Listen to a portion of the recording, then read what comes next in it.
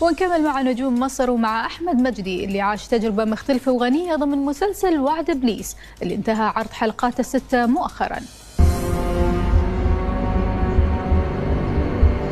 الحقيقة أنا كنت سعيد جدا إنه في عمل يعني فاوستي موجود في الدراما العربية. وكنت سعيد جدا بالعمل مع كولين هذا المخرج الإنجليزي اللي كان نجح جدا في مسلسل رشاش. فده كان كله محمس جدا. والحماس الأكبر يرجع لأداء شخصية مركبة وغنية بمضمونها. شخصية يعني archetypal كده نموذجية قديمة. يعني أي ممثل بيحب يلعب الدور اللي فيه شيطان أو اللي فيه clown أو اللي فيه نموذج كده قديم يعني. فشخصية سامي فاجأت مشاهدي مسلسل وعد إبليس بتحولاتها وتناقضاتها. هو كنت أنا بس عايز أعمل contrast يعني ما بين ما بين الشخص النموذجي المهذب اللي كمان بيدعي شوية أكتر من اللازم إن هو مهذب بزيادة أو إن هو نموذجي بزيادة وما بين بقى الجانب الآخر المظلم من الشخصية. والتنقل بحرفية بين هالتناقضات تطلب منا جهد كبير. صعب إن الواحد يعمل contrast يعني يعمل حاجة وعكسها فهي ال trick اللي أنا مثلا اعتمدت عليها في ما بين شخصية سامي وبين الوجه الآخر منه يعني هو إنه يبقى موجود في سامي نفسه حاجة ريبولسيف يعني حاجة مقززة شوية أو حاجة تخلي اللي بيتفرج يبقى مش مطمن أو مش مستريح. فده اللي أنا اشتغلت عليه إنه على قد ما هو يبدو إنه مهذب جدا على قد ما هو مش مطمئن شوية. فاللعبة دي هي اللي بعدين بتخلي المشاهد لما يحصل النقلة. المفاجأة يبقى يبقى مش منزعج من المفاجأة يبقى مش حاسس إنه إيه ده. أنا كنت عمري ما هقدر أعرفها لوحدي بس هو يفضل حاسسها بس مش قادر يقولها للي قاعد جنبه وهالتويست ناسبت قصة العمل اللي تحمل عدة مفاجآت. هي القصة اللي يعني اتعملت يعني آلاف المرات وهي قصة يعني فاوست الإنسان لما بيروحوا للشيطان عشان عشان هو عايز طمعان في حاجة معينة أو هو وصل لدرجة معينة من اليأس أو كده. هي قصة يعني معتادة جدا يعني بقى لها تقريبا مثلا 200 سنة ولا حاجة.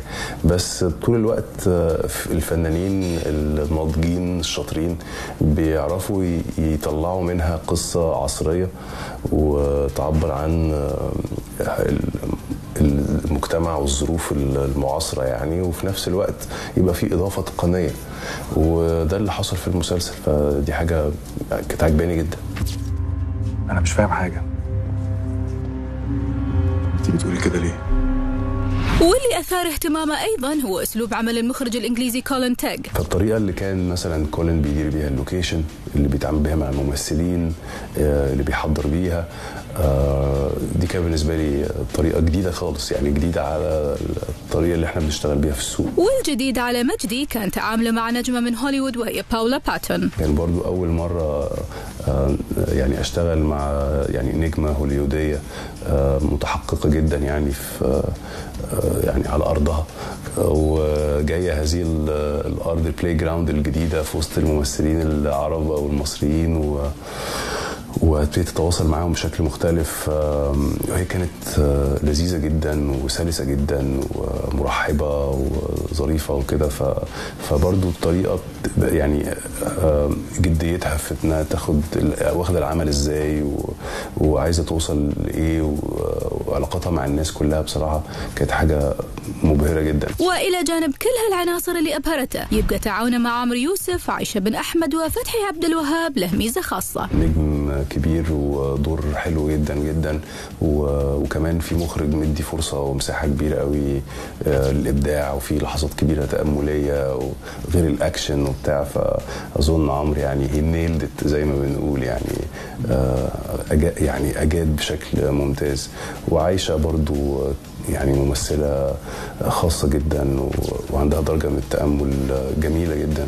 دايما عندها مفاجآت. فده كان جميل. وفتحي وهاب بقى هو الأيقونة اللي بصراحة الواحد فخور بيها يعني وفخور إن هو صديقي. أستاذ هو عنده دايما قدرة على يعني الانغماس في شخصيات صعبة جدا من غير خوف. هو لو بريء والدم ده مش دم خالد يبقى مفيش داعي للخوف. وبالحديث عن فتحي عبد الوهاب فهو سعيد بردة الفعل الإيجابية اللي تلقاها على مسلسل بيت فرح مع انطلاق عرض أولى حلقاته مؤخرا.